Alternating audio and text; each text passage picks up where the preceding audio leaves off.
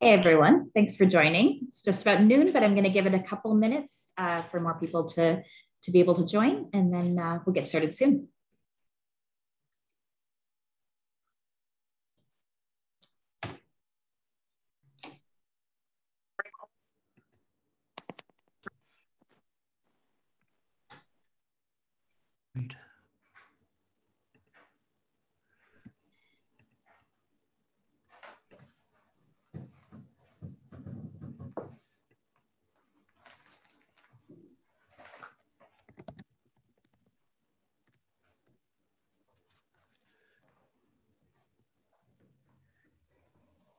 don't mind being visible if you want.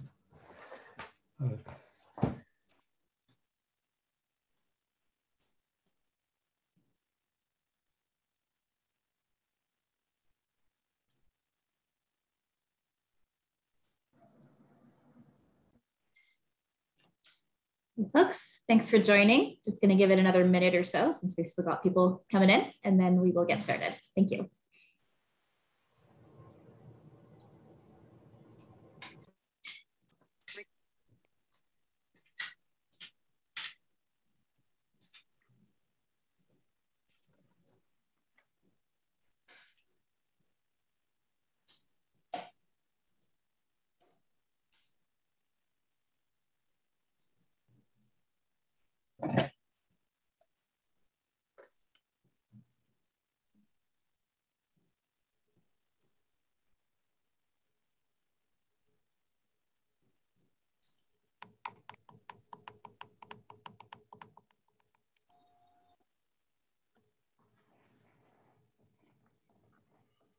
Hey everyone, it's uh, we still got some folks joining, but it's 12:02, so I'm going to get us started to make sure that we have enough time.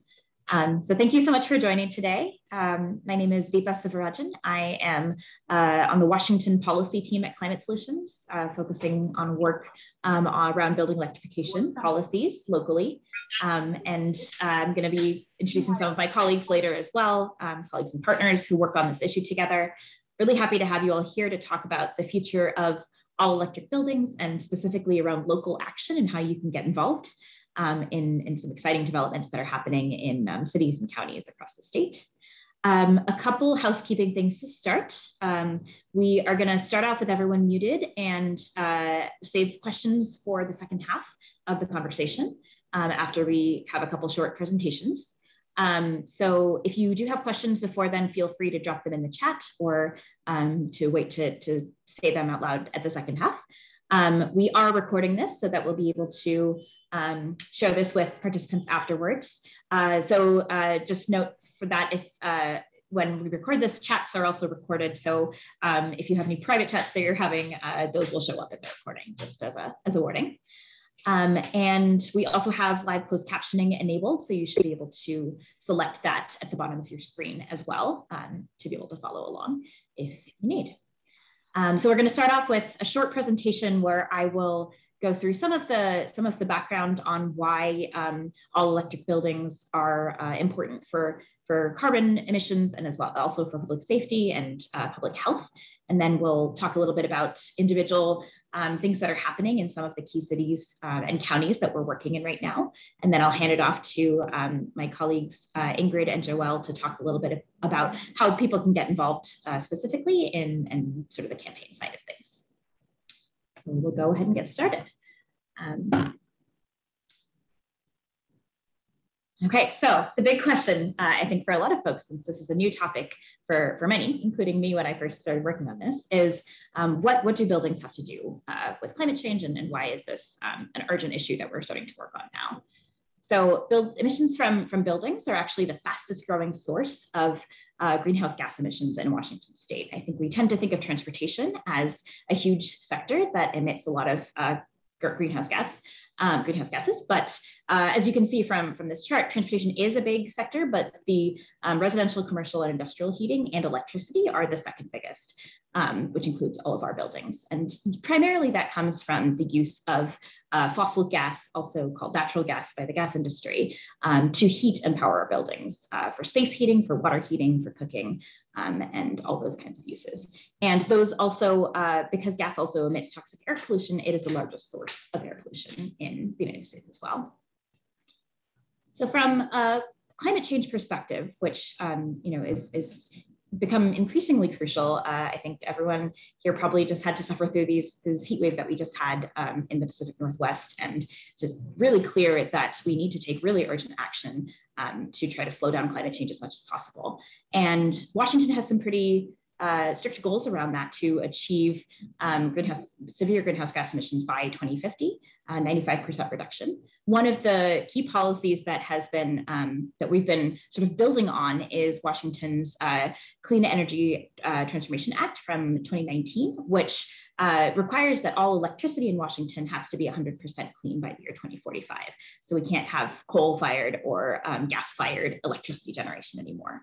Um, because of that, it's increasingly important that we shift all possible uh, uses over to electricity and stop using greenhouse gases in the places where electric uh, technologies are advanced and affordable to make that switch.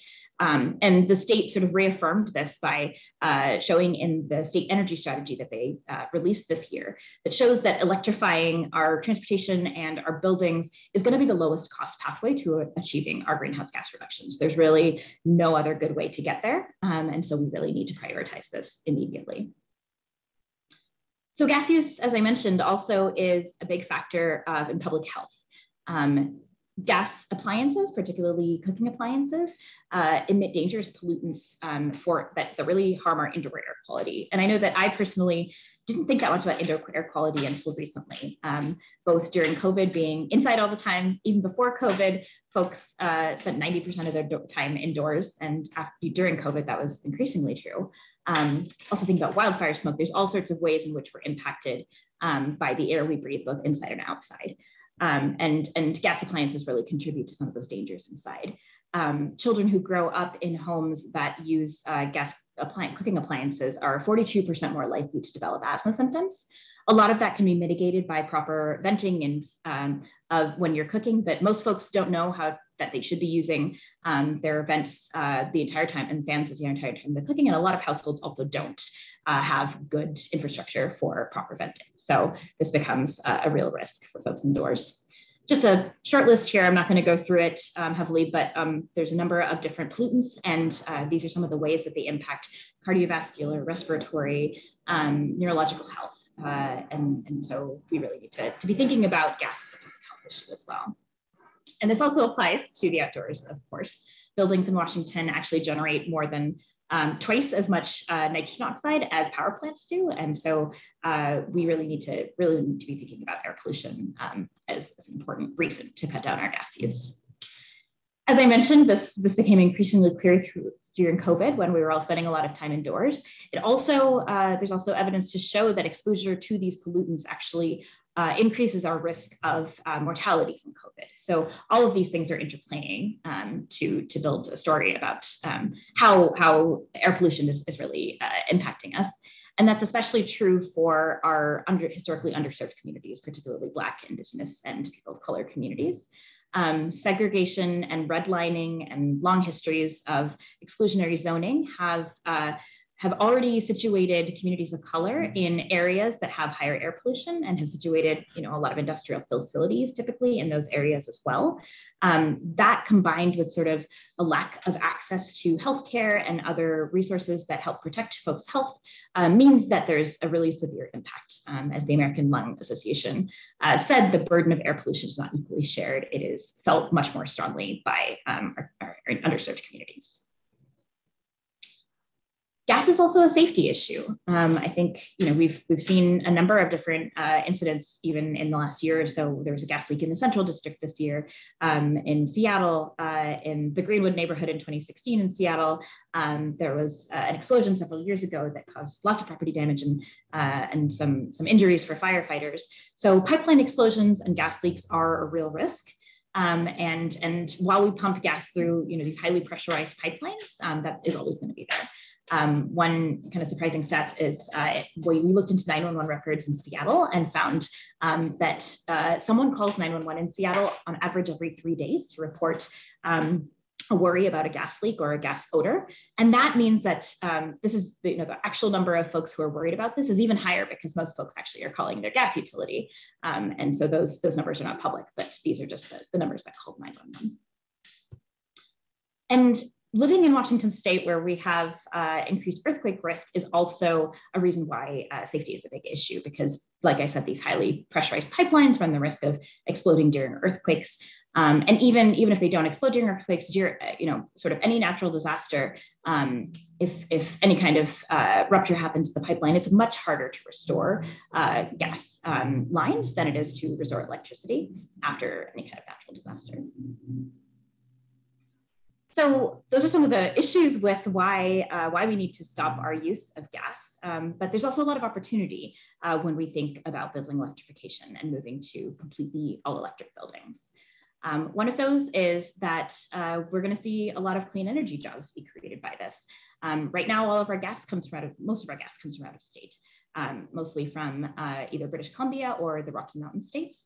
And so, uh, you know, there are certainly jobs that are related to the infrastructure of building gas lines here, but we will, if we shift to electric sources, that there will be a lot more local work.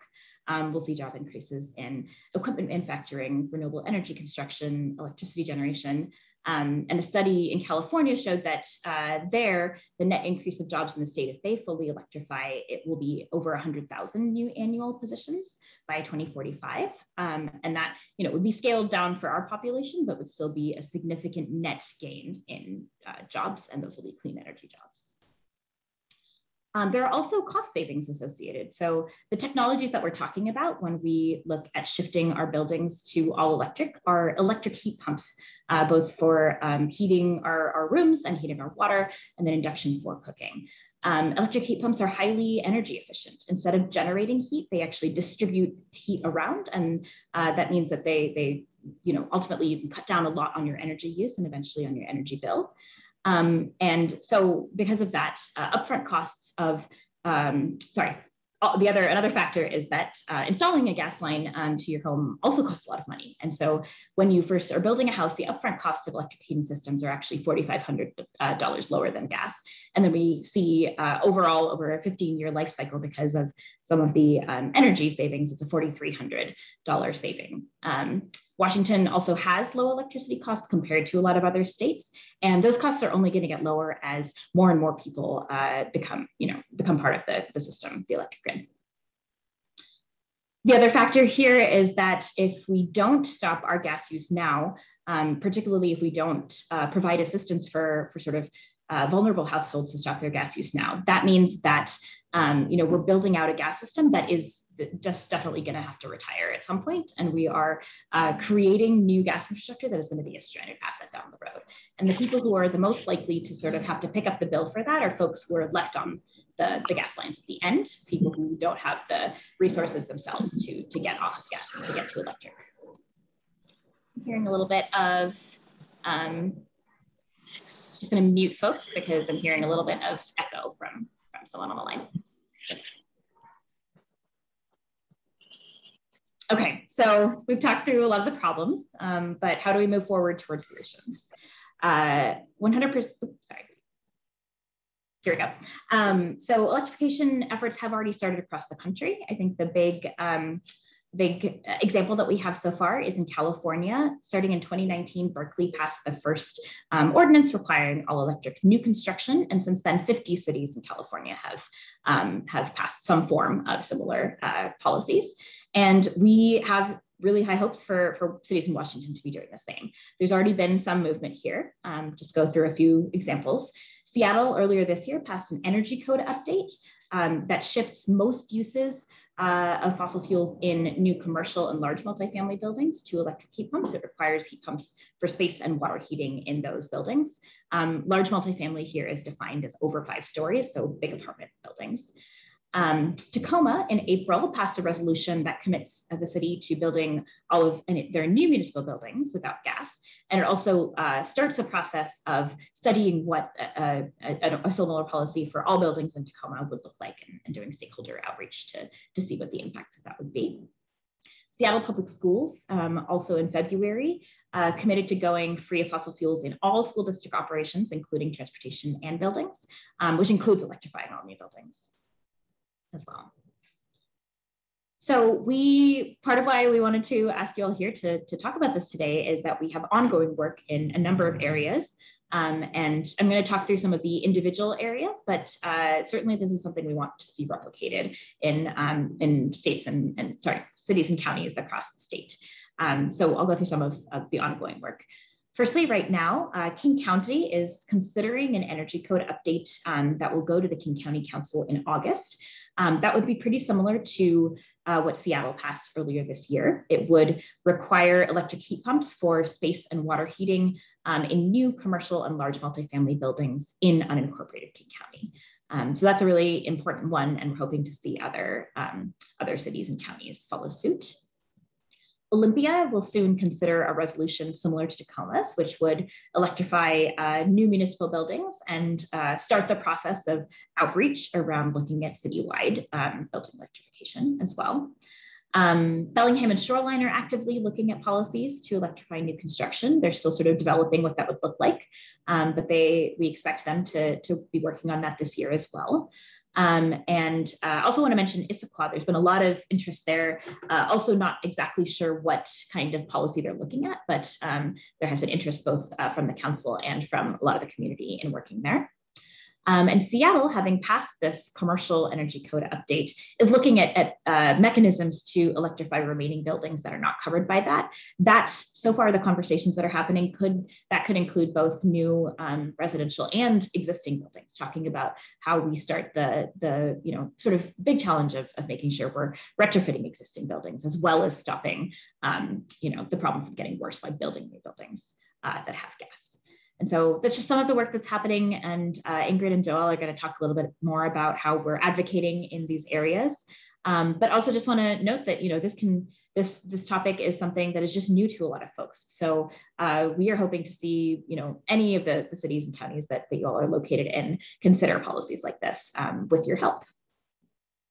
The other thing I just wanted to mention before turning it over um, to Ingrid and Joelle is that the opposition has already started, and so we need to we need to be understanding um, the the fight that that we're uh, running against. A lot of which is trying to the gas industry uh, putting a lot of money into trying to uh, greenwash gas, trying to sow misinformation about gas because they can see the writing on the wall and know that if they don't um, don't fight this back, they will be losing their customer base. Um, we've seen across the country that the gas industry is paying Instagram influencers to talk about how much they love their gas stoves. And we've seen locally that um, the gas utilities in Washington have uh, formed a front group called the Partnership for Energy Progress Northwest and have putting a lot of money into um, marketing and advertising that, uh, that talks about how great gas is and doesn't talk about any of the health or safety or carbon risks. So we've got to we've got to make sure that we understand all the problems and, and are educating other folks as well, um, so they don't buy into this situation. So with that, I'm going to pass it over to uh, my colleagues, Ingrid and Joelle. Uh, Ingrid with Stand.Earth and Joelle, who's the field director uh, at Climate Solutions.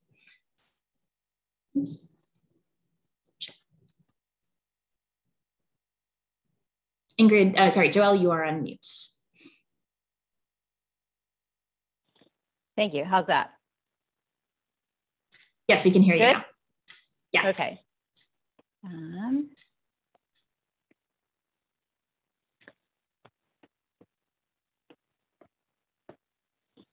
one moment, please. That's not what we want. Just take a second. Here we go. Okay. There we go. Can everybody see my slides? Yep, good. Yes. Thank you. Okay, so as Deepa said, I'm Joelle Robinson, uh, Field Director at Climate Solutions. I use she, her pronoun, pronouns. I am here in Bellingham on Coast Salish land, and I am so honored to be here today with all of you and so deeply grateful. I see a lot of names I recognize and heroes in the community and clean energy climate champions and also new uh, faces and names that I and I don't know, and that is so um, encouraging and inspiring. Probably like you, uh, to, you know, this last few days have been hard. Um, I have a little, little guy, a little toddler. He had a lot of rough, uh, meltdowns and hard time sleeping, and therefore I did too, and trying to work full time. Um, but you know, I'm this age, and I had to check on my elderly neighbors to see how they were doing in this record-shattering heat wave, and it was so worrisome and heavy on my heart. I'm not just worried about all the people uh, and the babies, the elders and the babies, and all the people suffering, but also the animals, the pets, the farm animals, the wild animals, and the trees and the plants, and all living beings. Basically, it was just really hard, and so probably you have been feeling similarly, and um, I have been trying to transmute that um, grief and uh, worry into some action. And uh, that's what Ingrid and I are here to hopefully share a little bit more about today. So as Deepa said, um, we've got a lot going and there's a lot more coming. So if you live in King County, well, first of all, I'll say uh, Ingrid is going to drop into the chat uh, a Google Doc that has links to everything we're talking about. So you have a little mini toolkit. Um, and we'll also be including all of this in the follow-up email. So then you could forward it to folks too if you want. Just a recap.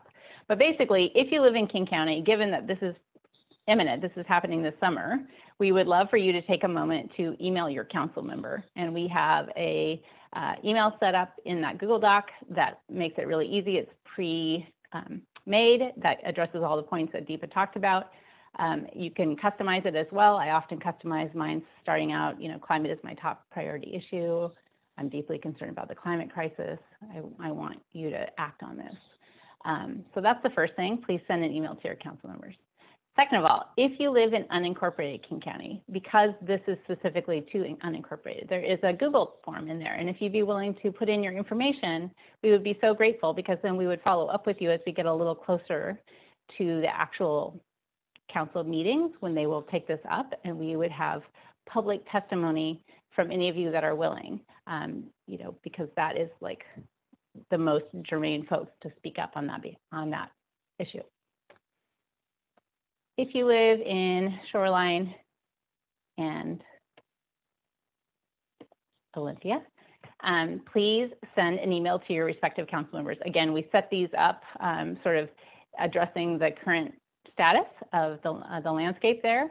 So um, hopefully it's really easy. You can again customize if you want and just shoot an email off to your um, council members respectively. Then if you live in Seattle, Tacoma, Issaquah, Spokane, or Bellingham, we've created specific customized petitions for your local jurisdiction and we can um, get critical mass and then we will deliver them at key moments um, depending on where our, you know, where the councils are at any given moment. Um, if you live anywhere else that we didn't articulate, then we would encourage you to take a moment to call or and or email your mayor and your council members, and you could just kind of keep it at the meta. Like, I'm deeply concerned about the use of fossil, fracked, natural, whatever word you choose to use. That's what it is fossil fracked natural gas in buildings, and I want us to move to clean, safe, all-electric buildings. If you get any intelligence um, or you know replies back on any of these emails or these calls, uh, it would be super helpful for us to hear what they're saying, uh, especially if there's some champions there that we don't know about yet that say, I'm with you, I want to work on this.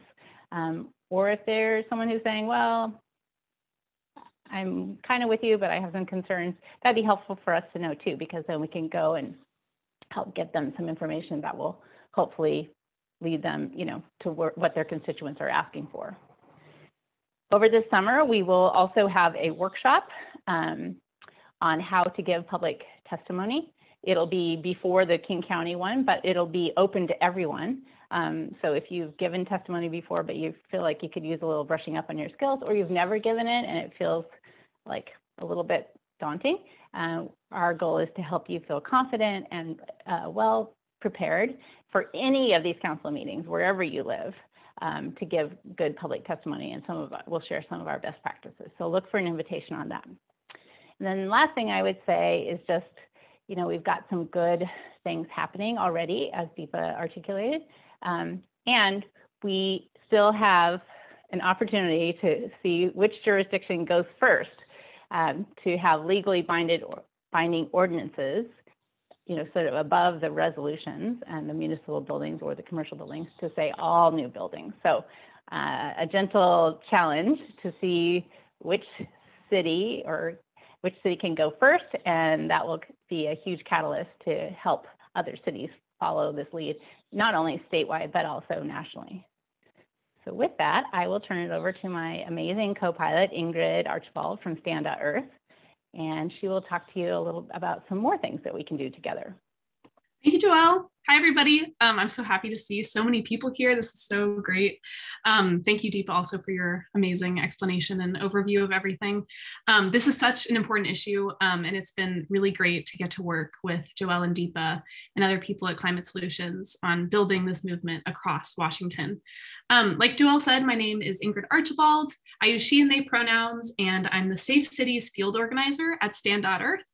Um, so Safe Cities is a movement of communities who are working to fight fossil fuels um, and to end the expansion of fossil fuels in their community, um, which is obviously so critical in making sure that we achieve climate justice in the timeline that we have to fight climate change and the climate crisis. Um, so I just wanted to take this time to talk about a few other actions that we can take. Um, and one of the most important ways that we can elevate this issue and raise visibility is to write letters to the editor or LTEs. So I'm sure that some of you have done this before. I know a lot of super activists are in the room today, and you all know that LTEs are a really powerful way to educate your community, to spread awareness and increase visibility, which, like Joelle and Deepa both said, is so important in this issue because the fossil fuel industry is pouring money into misinformation and propaganda. And a lot of folks don't know that gas is bad. They don't know that what they're cooking with is a fossil fuel, and they don't know that it's hurting their public, their own health, and the health of their families. So it's up to us to educate folks and make sure that people understand why it's so important that we electrify buildings um, and transition over to electric appliances. So letters to the editor are a really great way to get that conversation going. And it's also a really great way to directly show support and bring up the issue to decision makers in a public forum because we know that council members, mayors, their staff, legislators, they're all reading opinion pieces in the local outlets to track what folks are talking about in their communities. So it's a great way to get the ear of the people who are eventually going to be passing these policies. Um, letters to the editor are really simple. They're really easy to write. We have a whole guide for you that's in that document that we shared in the chat, which we'll send again. Um, but just a few tips just to let you know.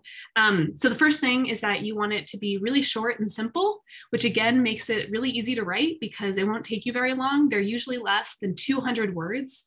And the shorter they are, the more powerful they can be, and also the more likely they are to get published.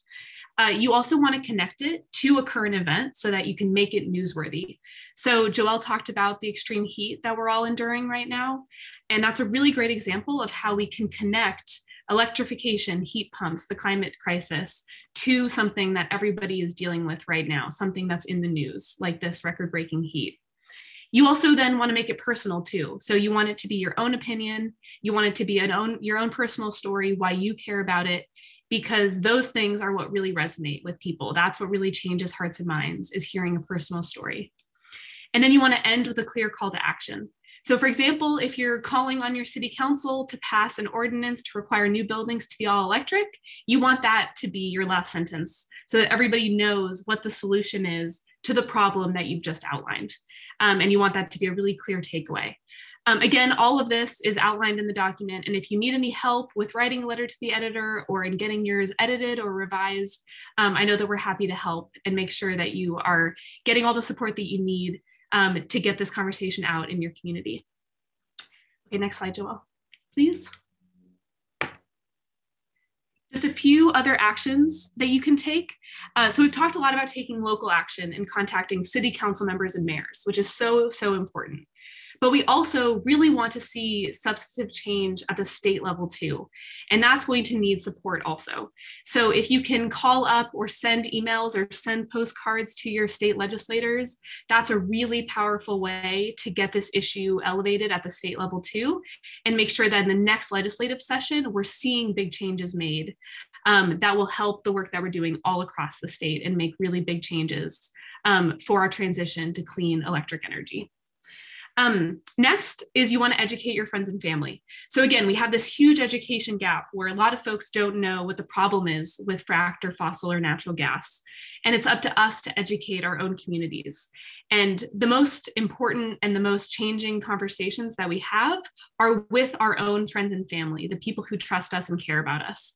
So I highly recommend talking to folks in your life about electrification, about gas, about the problems, and mostly about the solutions, right? So if you know people who cook with gas stoves, letting them know that they should be using their, you know, their hood vents and opening up their windows and cooking on the back burners. Um, or if there are people who care about these things, encouraging them to take these actions too and sharing the petitions with your with your own community as well and asking folks to take action and be empowered in this movement. Um, the next thing is that you can sign up for the super advocate team. So Climate Solutions has this awesome group of people who, you know, are looped in and are taking actions on issues to support climate work across the state. And if you're excited about building electrification and other issues that Climate Solutions works on, you should absolutely sign up to join that team. Um, that link is also in the document that we've shared out. Um, and I highly recommend joining that group so that you're looped in on all of those actions and are, you know, able to be involved as much as you can be. Um, the next is to sign up for Safe Cities. So again, that's the campaign that I work on with Stand. Um, and if you want to help end fossil fuel expansion, whether that's getting gas out of buildings or shutting down refineries and making sure that the fossil fuel industry isn't polluting your community any longer, um, I really welcome you into the Safe Cities movement and hope that you will sign up to join us as well. And then finally, if you know builders or healthcare professionals, those are a couple of constituencies um, who have really important voices in this issue um, because we really want to elevate that you know there are builders who support electrification and there are really critical reasons that we need to do this for public health so we want to elevate the voices of builders and healthcare professionals and if you know anybody who are supportive of climate um, and of electrification or if you yourself are a builder or healthcare professional, uh, please reach out to Joelle, get connected. Um, we really want to make sure that those folks are, you know, giving public comment, signing on to letters, signing the petition, calling council members, whatever folks can do to be part of this. Uh, that's a really key voice. So we invite you to reach out to Joelle to get connected to the campaigns going on in your community. Um, and Joelle's email is in the document as well that we're sharing out with everybody. Um, so those are some actions that you can do. I know that's a lot of different things. I know that some of them are really easy and fast. Some of them are more long-term and require more work, but whatever you can give and whatever you're excited to do to help support this movement, uh, we welcome all of it. And we're so excited that you're all here so that we can work with you um, to build up a really powerful movement for electrification here in Washington, because we feel really strongly that there's going to be a lot of change happening over the next year and a lot of really great work that's going to be done. And that's going to be because of folks in their communities standing up for this. Um, so thank you so much, everybody, for being here. Um, I think we're going to go into Q&A now, so I'm going to pass it off. Thank you guys so much.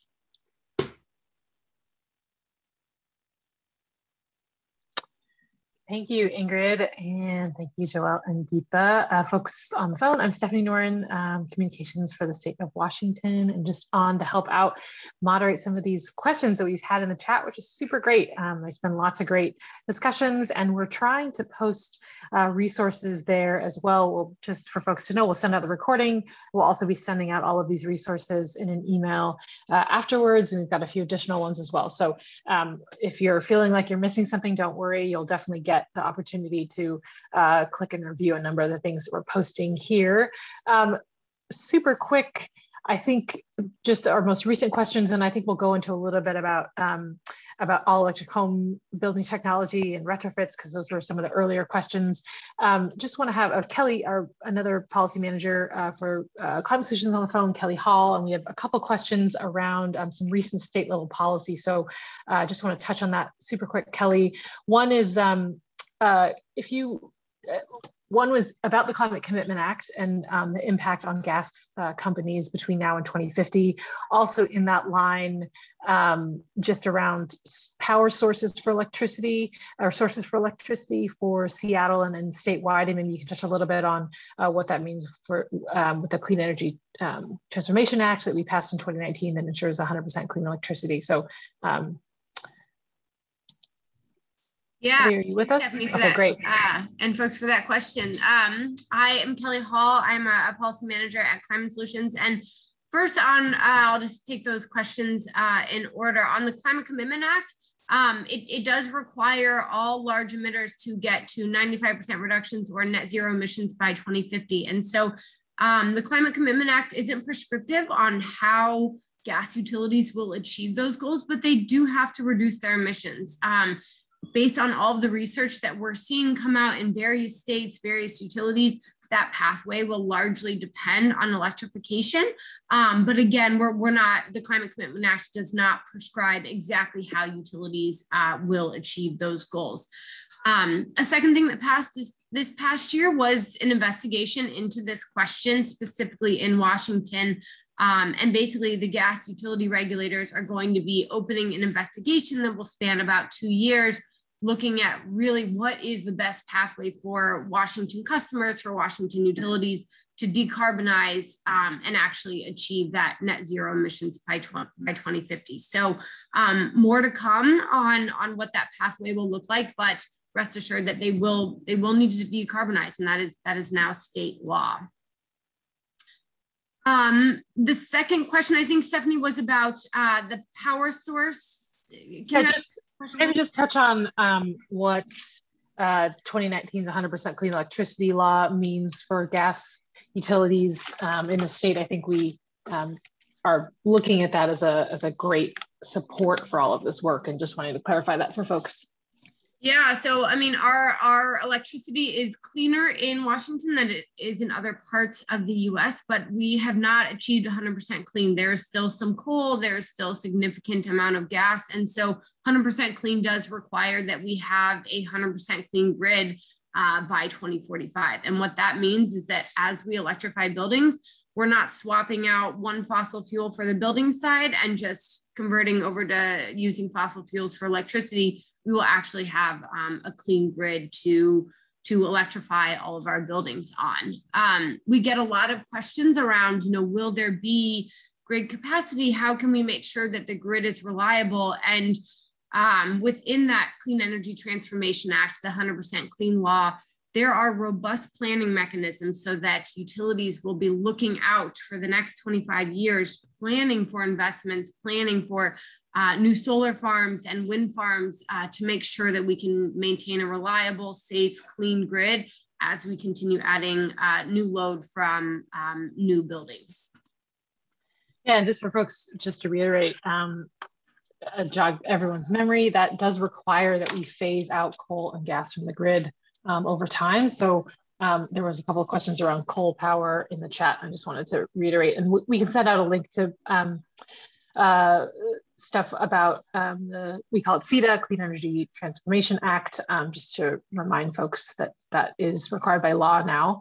Um, and then Kelly, um, no, you might have to jump. So just another quick question on, um, on uh, gas utilities generally.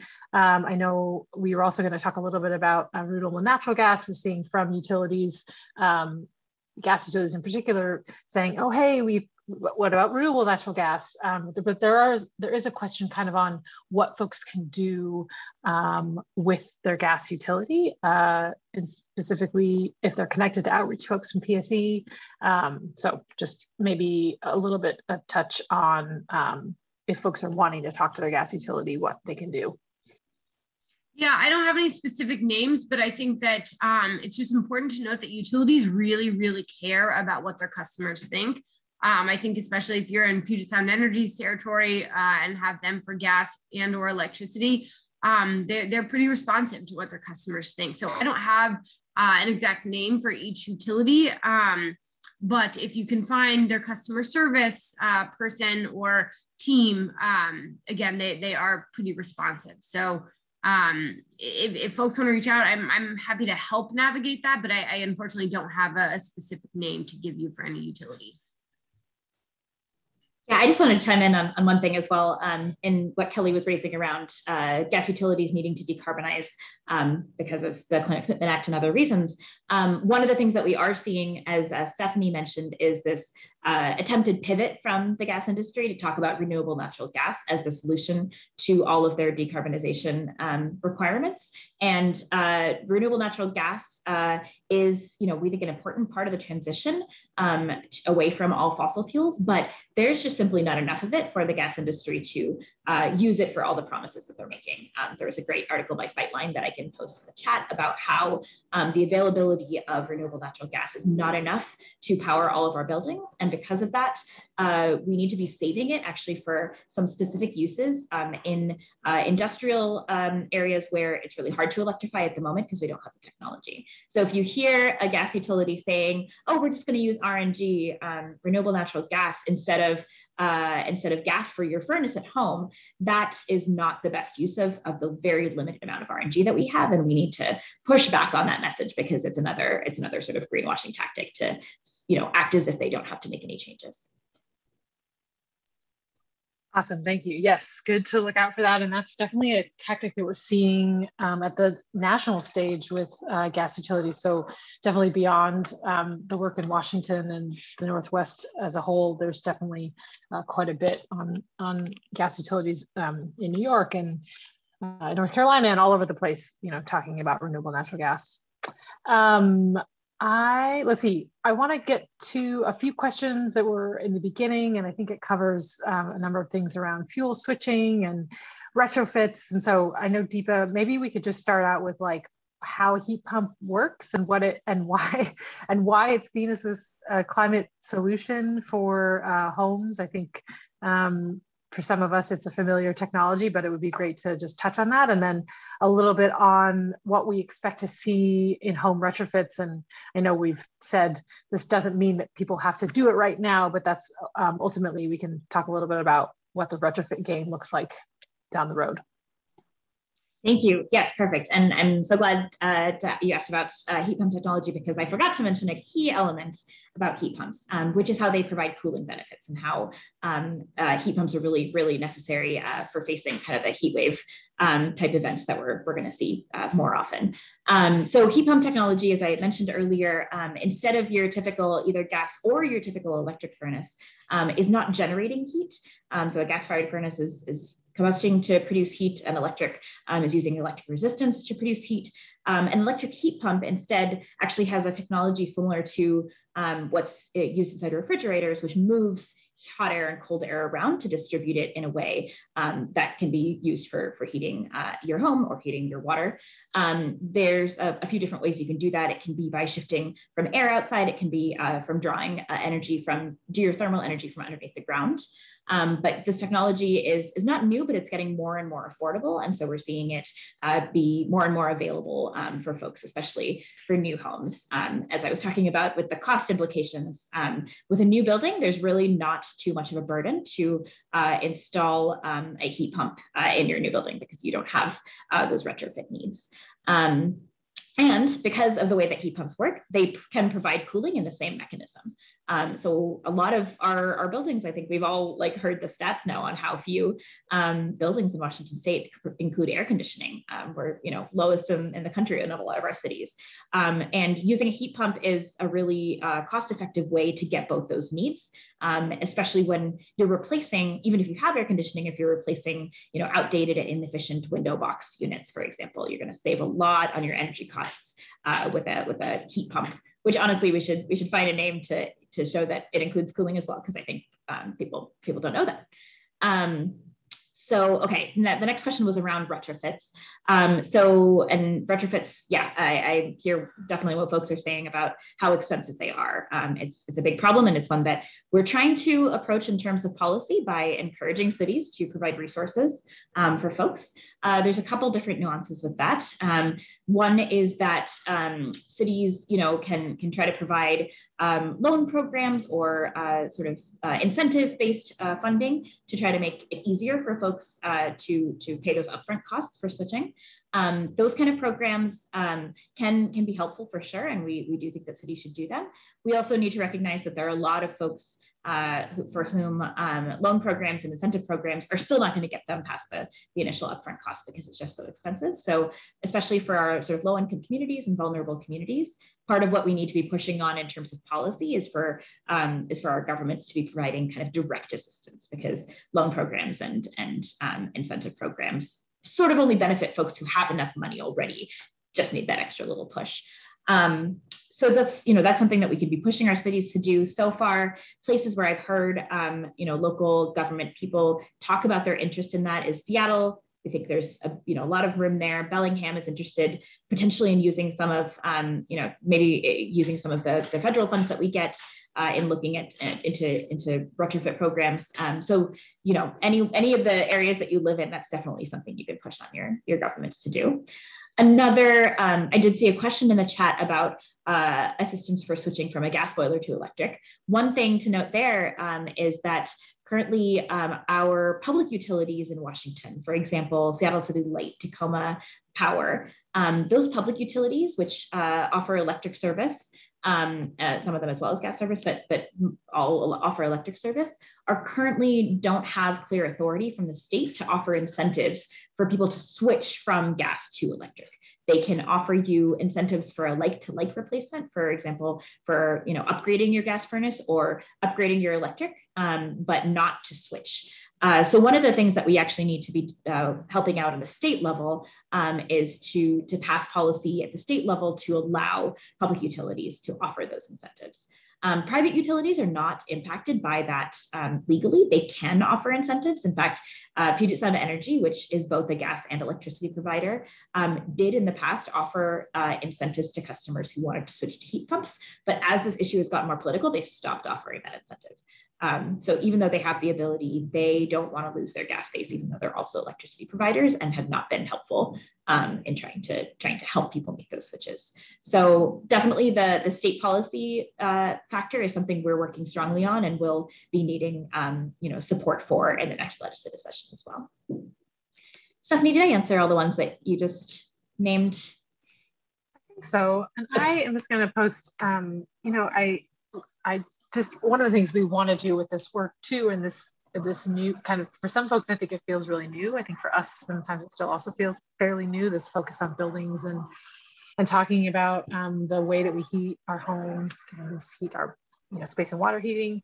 Um, I'm just going to post a link to for the chat in the chat for folks um, about uh, someone Deepa and I have been talking about um, this um, man named, I think, Donnel Baird. He's with a company called BlocPower that's actually working to do um, energy efficiency retrofits for low income communities. And they are working specifically to um, install heat pumps uh, for, for low income folks. And it's just a really cool story. And so, you know, there's different ways in which building electrification is happening across the country. And this, he's working from a from a private sector angle, from as a climate technology startup, really not a, necessarily from the policy angle, but definitely he's got some really cool stuff to follow. I think Deepa heard him on a podcast recently, and I've just been he was recently featured in the Washington Post. So just a nice way for for us to feel like this work is is definitely happening across the nation and it's not something we've just sort of picked out of the blue um, in Washington state. It's definitely something that um, we're seeing happen all over the place.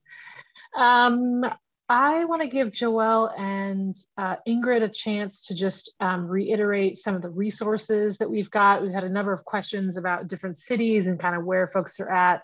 Um, so uh, Joelle and Ingrid, maybe you could talk a little bit about, um, uh, one is um, just reiterating what where petitions are and um, how folks can find out about uh, new petitions if there are some. We've had a question about um, how to be on the super advocate team. Uh, so maybe just a general uh, re-upping of, um, of getting connected to fieldwork. Sure. Thank you, Stephanie. Um, and thanks everyone for those thoughtful questions. Uh, so uh, we will drop in, uh, go, go ahead and do that if you wouldn't mind, Ingrid, um, the Google Doc.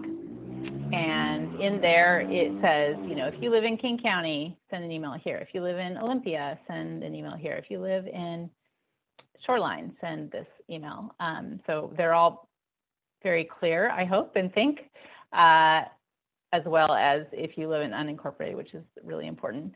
Um, the second part of your question, Stephanie, what was it? Oh, just a reiterating for folks.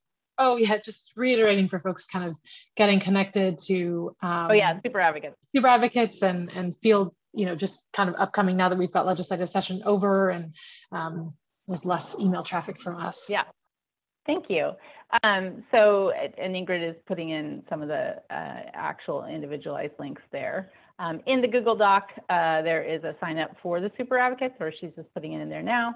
Um, and also, uh, like she said, safe cities. So we're going to then, when there's a moment like, okay, you know, um, something's happening in Olympia and we would really like a lot of people to call or email council, now's the time and we would give you the update. Um, that would be, you know, the way we would communicate with you if you're on those lists. Um, and if you RSVP'd today, which you obviously did, then we have all, we, you know, we can communicate out to you um, from whatever group you got this information. If it was from 350 or Stand or Sierra Club, um, you know, there's folks, we're working together as an organizing team to uh, coordinate as much as possible so that we can, you know, reach out and, and let po- folks know as things get more galvanized, uh, more ways that you can help.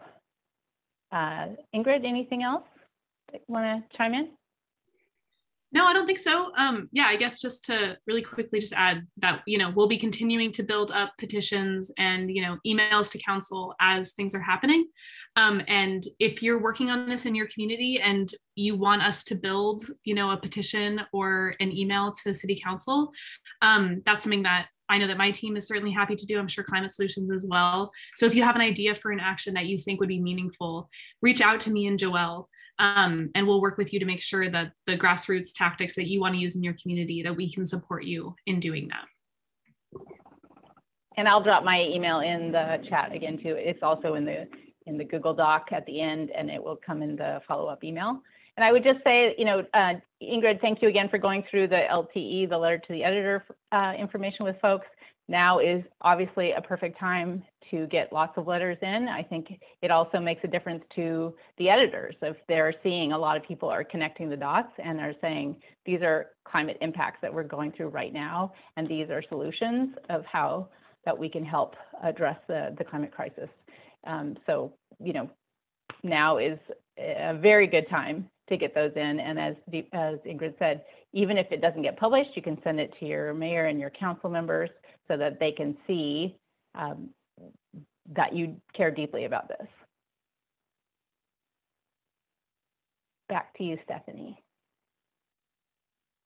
Uh, just really quick, um, I'm going to post this. We've had a number of questions around hydrofluorocarbons and um, dangerous refrigerants um, in the chat. And so um, I just want to call folks' attention to um, a rule in 2020. Um, I think it passed in the 2020 uh, legislative cycle to phase out the use of hydrofluorocarbons um, in Washington state. So um, just posting that here from the Department of Ecology. And if you have, um, as always, if you have other questions around um, the 100% Clean or Clean Energy Tran Transformation Act, we're happy to answer those and um, point you to some resources to um, continue to look at how our utilities are generating electricity to be 100% clean. And that's something that is definitely on, we're on the path and it's required by law, which is really great. Um, just really quick on the energy code piece, um, want to touch on, call attention to folks' answer from Deepa in the chat. And um, if we need to clarify, we can do a little bit here, is that um, I think the code piece is, is a little bit wonky for some folks and some buildings are covered by codes and some are not. And so um, there was a question around uh, low rise residential and, um, you know, five stories or less. And just want to reiterate that different cities um, regulate different buildings differently. So it is a fairly complex uh, piece and it's a number one, it's one of the reasons why um, the commercial codes have been a little bit easier to access from a city ordinance standpoint. Um, and so just Deepa, you wanna touch a little bit about on state residential energy code and kind of just clarify that for folks again? Yes, absolutely. So if you didn't, first of all, if you didn't see the question in the chat, um, thanks Dwight for a couple great questions.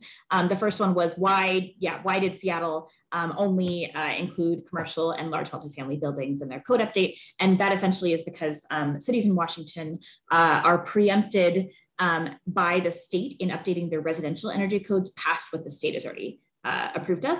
For commercial buildings, which includes large multifamily, they are able to go further than the state um, but it, meaning they can pass policies that are more energy efficient, um, but they but they're building off of the state code. Um, so the state code, um, the weirdness of the way the state code cycle works is that what Seattle passed was actually their 2018 um, energy code update. So there will be more uh, energy codes coming from the state. Um, so Drake's second question was because state uh, cities are preempted, can we push the state uh, energy, the state uh, building code council to update their residential energy code to be better? The answer is yes. Um, I believe that process is going to be happening next year, and we can uh, we can share more information about how we can advocate for that. Um, but that reminds me also that I wanted to bring up that currently the state building code council is reviewing the commercial energy code. So back to commercial and large multifamily. Um, and there are proposals um, in their meetings right now to require heat pumps uh, for space and water heating, just like Seattle did. And that would then apply to the whole state. Um, so uh, I know that they're looking for folks to help give testimony on that too. Again, it's a, it's kind of a wonky issue, but one area is if any of you or um, folks you know are local business owners who support electrification, um, then hearing from folks in those meetings would be super, super helpful. Um, and I can, if you just connect with me personally, I can uh, connect you with the right person to, to figure out how to how to testify and, and kind of what person the talking points there. So I'll put my um, name in the chat. So that's that's for the state building code for commercial. Uh, again, you know, working on residential energy code stuff is also going to be helpful, but um, that's not happening at this moment. Great, thank you. I still personally am like, which ones are which and how is this still a thing? So um, glad to do that. All right, uh, we've got four questions or four, four, we have four minutes left. We don't have four questions left. Um, so just want to uh, take the time to thank folks for coming and thank our speakers, thank Ingrid and Deepa and Joelle and Kelly for being on. Um, we've had some awesome participation. We had over 100 folks here today, just really speaking to um, uh, the interest and um, need for action across the state. So big thanks for, for folks tuning in. I know uh, webinar fatigue is real and staying in your hot house during this week, if you don't have a heat pump and don't have air conditioning um, is a real challenge. So uh, thank you everyone. And we will be sending out an email with all these resources, all these links. Um, and Joelle, sounds like you wanted to say something? Yeah, one last thing. Uh, if everyone would that you're everyone that's comfortable would be willing to come off of uh, uh, you know, put on your video so that we can see your awesome faces. We would love to get a couple of pictures. Uh, it's just inspiring and uh, helps us kind of get to know each other a little more. Uh, we would take a couple of screenshots.